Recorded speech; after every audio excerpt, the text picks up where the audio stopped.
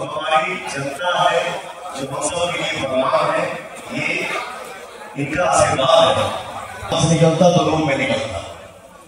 मंच में बहुत बहुत धन्यवाद बेटा बहुत आगे बढ़िए।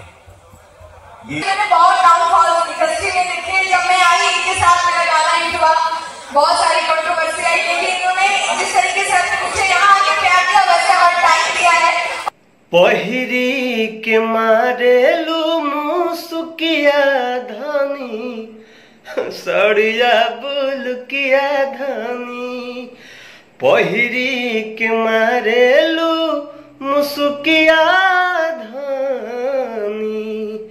सड़िया बुलकिया धानी। नमस्कार, प्रणाम, कैसे हैं आप लोग? अभी आप देखने लगे हैं धुन music. Power star Pawan Singh ji का तो ये गाना भाई साहब भोजपुरी जगत में धूम मचा के रखा है। मतलब एक ट्रेंड सेट कर दिया ये गाने ने।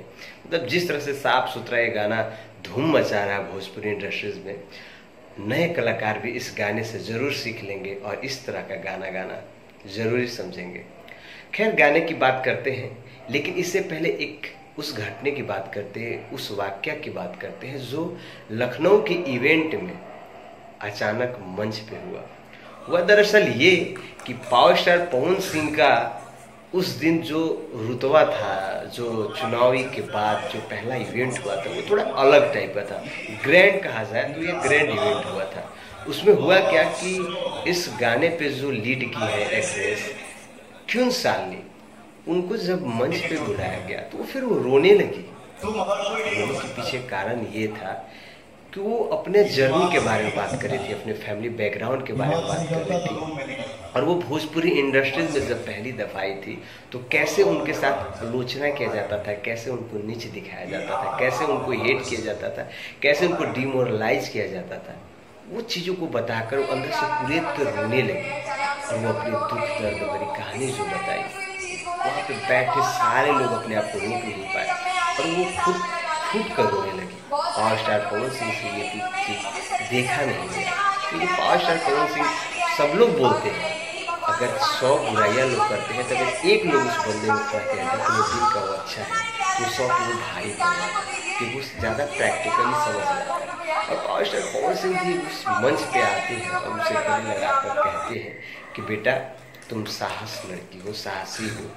लोग आएँगे, जाएँगे, बोलेंगे, सुन के आगे बढ़ो। जीवन में आगे बढ़ना है तो पीछे बीती हुई बात को भूल जाओ। उससे सबक लो, सीख लो और सूरज की तरह रोज सुबह उग जाओ, अपने समय पे उग जाओ और लोगों को प्रकाश कर दो। तो आप इस फ़ील्ड में आए हो इंटरटेनिंग करने आए हो, लोगों को दिल जीतने आए हो तो आप दिल में जगह बनाओ। दिमाग में जगह मत लगाओ। दिमाग से जल्दी आदमी उतर जाता है लेकिन दिल से उतरने में इंसान को उतरने वालों को भी समय लगता है और उतारने वालों को भी समय लगता है। पता चलता है कि न वो उतार पाते हैं और न वो उतर पाते हैं। तो पावर स्टार पवन सिंह की ये लाइन बहुत ही अच्छी लगी। खैर इस गाने की बात की जाए तो ये गाना काफ़ी वायरल हो रहा है और लोग को पसंद आ रहा है। ज़मीनी स्तर पर बच भी रहा है। खेसारी लाल यादव का इन दिनों गाने ट्रेंडिंग में है। ये गाना खैर ट्रेंडिंग में नहीं गया है, क्योंकि ट्रेंडिंग में वही गाना जाता है जो चैनल पहले से ट्रेंड कर चुका होता है, फिर ट्रेंड की सीढ़ियों में चढ़कर हिस्सा लेता है। ये माँ गायत्री रिकॉर्ड्स का गाना तक ट्रेंडिंग में नहीं गया है, शायद इसलिए ये गाना नहीं गया है। लेकिन ये गाना ट्रेंडिंग और अनट्रेंडिंग से लेवल नहीं किया जाता है, मायना नहीं होता है। मायने तब लगता है कि गाना मतलब भाई क्या सा गाना है, वाह। बहुत अच्छा है। खैर ये गाने पे बहुत ज़्यादा रील्स शॉर्ट्स सब लोग बना रहे हैं इसके ऊपर। अच्छी चीज़ें इसके बारे में रिव्यू दे रहे हैं। जितने भी इंडस्ट्रीज़ के लोग हैं या फिर ऑडियंस सारे लोग अच्छा रिव्यू दे रहे हैं। अभी तक ऐसा किसी ने भी रिव्यू नहीं दिया कि जिससे ये समझ में आए कि पावर स्टार पवन सिंह का ये गाना अच्छा नहीं है या फिर ये सिर्फ़ नाम पे सुना जा रहा है।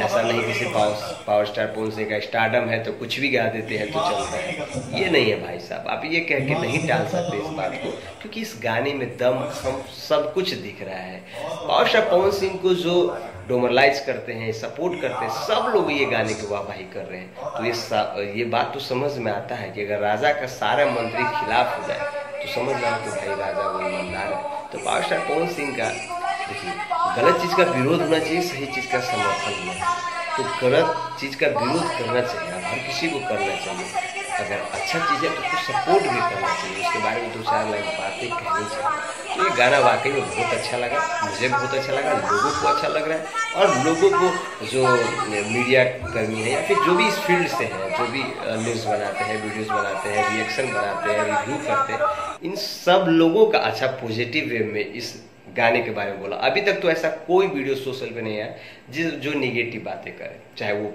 उनके पक्ष के हों या फिर नहीं हो। कोई भी मतलब एनी पर्सन कोई भी इस गाने का हर कोई तारीफ़ कर रहा है। जाते जाते इस गाने को मैं दो लाइन और गा दूँ, क्योंकि मुझे बहुत अच्छा लग रहा है। अरे पहिरी के मारे लो मुसुकिया धनी, सड़िया बोलुकिया धनी। कैसा लगा आप लोग को ये वीडियो? आप लोग ज़रूर कमेंट बॉक्स में आके कमेंट करके बताइएगा और धोन म्यूज़िक को ढेर सारा प्यार देते रहेगा बहुत बहुत धन्यवाद।